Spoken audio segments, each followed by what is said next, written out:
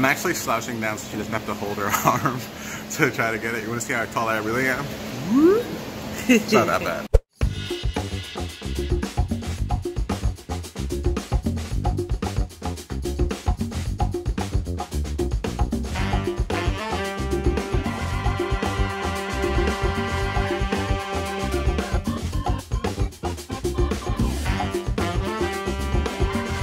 Did you just watch our United Basic Economy video?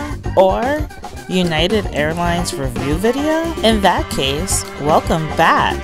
Today we are going to compare Economy and Economy Plus classes, ultimately sharing if the extra cost is worth it. We've flown with United to places like North Carolina, Jamaica, Panama, Texas, California, Nevada, Washington, Louisiana, Buffalo, New York, Kentucky, and many more. Previously, you may remember we explained the similarities between basic economy and economy seating. We want you to remember that besides amenity, the literal seat and your and your experience is pretty much the same as your economy passenger. Well, this does not apply to Economy Plus. On most flights, these seats are in a section between first class and economy, and its biggest feature providing more legroom on most airplane models. Seats in United's economy class have a width of 17.3 inches and 31 inches of legroom or seat pitch.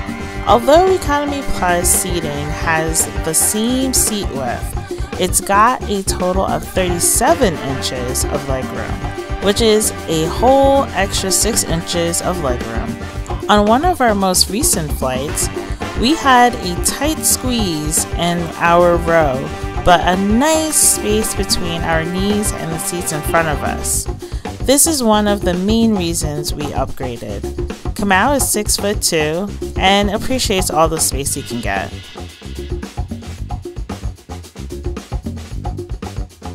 The other perk of selecting Economy Plus are available outlets.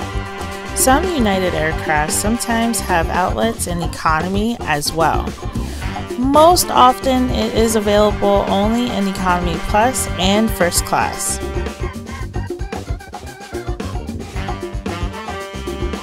Just remember, it's not a personal one. You will have to share.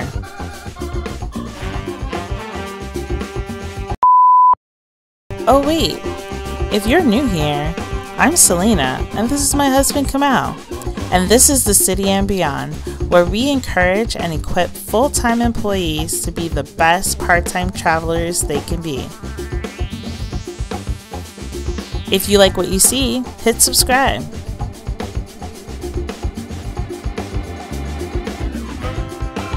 So those are the main perks of Economy Plus. In our opinion, these aren't enough for us to upgrade every single United flight we take. Although Kamau does appreciate the legroom. The times that it's most useful are the transcontinental and international flights because of how long they are.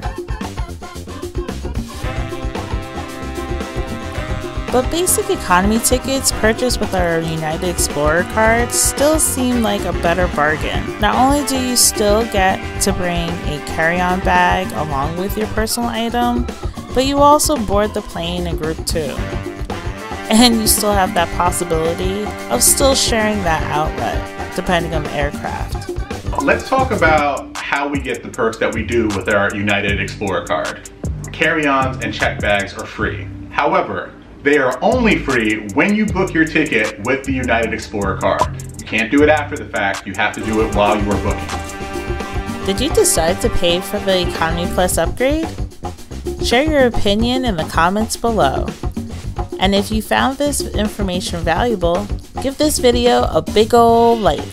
And while you're at it, subscribe so we can see you next week. Bye!